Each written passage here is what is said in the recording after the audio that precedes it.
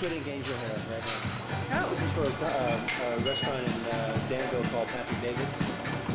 And what they do with this is they combine it with a red bell pepper, uh-huh. angel hair, weave it into baskets, and uh, fry it. And then they fill the basket.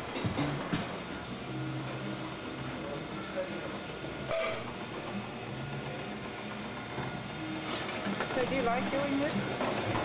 Yes.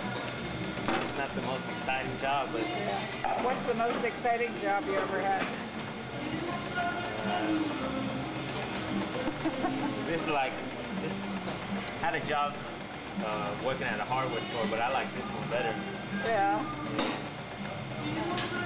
Do you know how to fix the machinery if it breaks down? No, we have to call call other people to come and fix it if it ever. So I'm wondering what the management structure is here. Who tells who to do what around here? Um, it's kind of subdivided a little at this point. I have a, a floor sort of manager who is Gabriella, the woman who Uh-huh. made the cake. And then I've got uh, basically my head sort of pasta maker who is Eloy, gentleman who's Right. walking around the laminator. And um, but pretty much everyone, at least at the level of production, knows their job, you know. Uh-huh. And there are very few issues that actually come up. Um, I, I decide fairly much what we make every day, day to day. And uh, I, I decide that by just experience, orders that come in, and uh, taking an inventory. And uh, then I assign the different orders to the people who are making the pastas and the sauces and the lunch. And um, I'm fortunate in that I have um, some really competent people at all the sort of high-level positions. And then uh, we have people who sort of float in and out of here fairly quickly uh, at the counter position. Uh, I have some who have stayed, and uh, that's really great. But uh, it's at least there are at least three or four positions that uh, get sort of filled every two or three or four months. And uh, I try to let Gab- Gabriella sort of handle the, them. You know, teach them, and you know, if they're any good, then I'll spend a little time with them. But I prefer, if at all possible, not to spend time with people who aren't going to be here for a while, because I've done a lot of that, and I'm, I'm kind of tired of it. Uh, Is, is this a co-op in any way? Um, there are some things about it that are done cooperatively, but uh, the bottom line is no. Uh, I, I believe in the co-op and the collective. I think it's a superior form of government. I mean, within a business. But I also think that it has its problems and uh, can only be as good, really, as the people who are involved in the collective or. And I think that in most cases, people aren't really interested.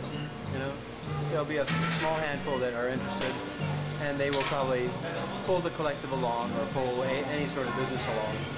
And uh, the others kind of go along with it. Some of them grudgingly, you know, and uh, others willingly, kind of. Um, but I, I think that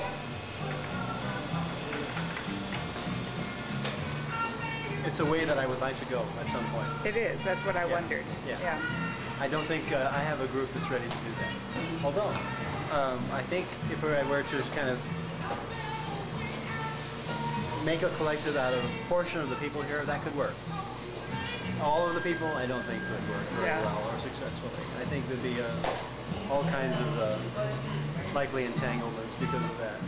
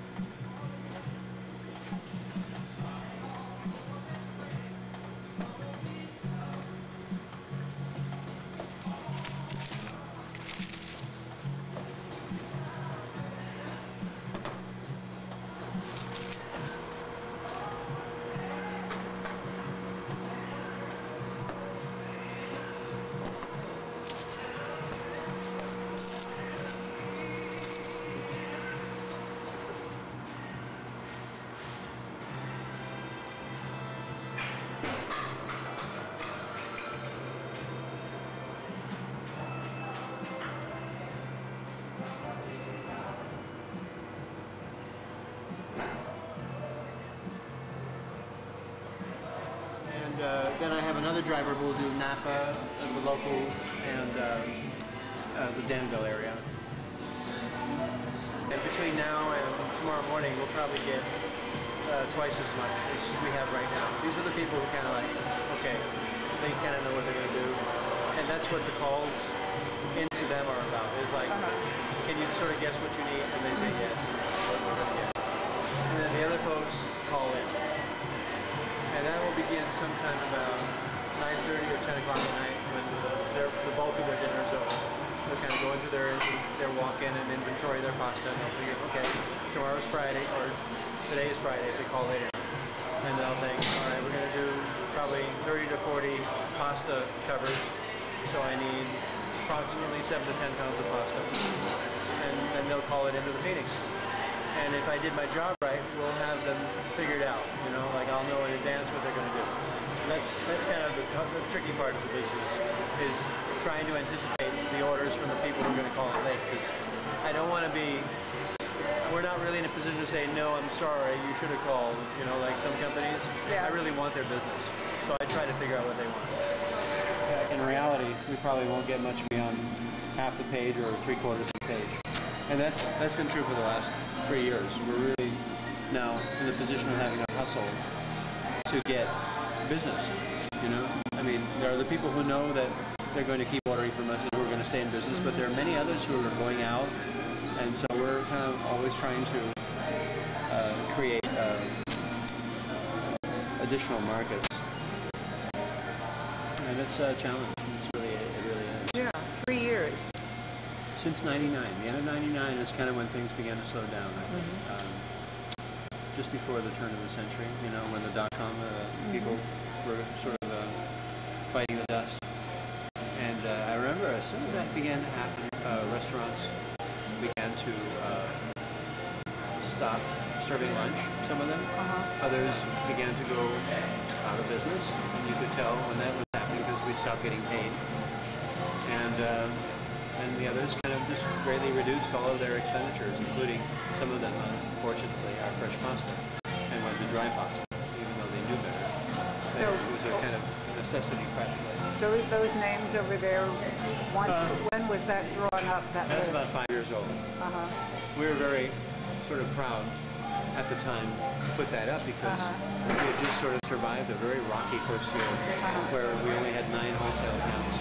Four of them were owned by the same company. And uh, What we- company was that? Uh, Milano. Uh-huh. Milano opened and rebuilt Tiburon and Walnut Creek. Walnut Creek is no longer. Tiburon is probably next to go under. Oakland and Emeryville might stick around. And then uh, Ginger Island, bless their hearts, you know, they went Yeah. with us immediately. Uh, and River Lake, thank you. You know, uh, and then we had uh, two or three other accounts that didn't stick with us. But uh, it was like the nine accounts uh, in our first year. And we thought, wow, you know, I really uh, guessed wrong on this one, I thought, to myself, because I, I expected, because of what I had tasted, that people would jump at this, because it was good quality fresh pasta. I started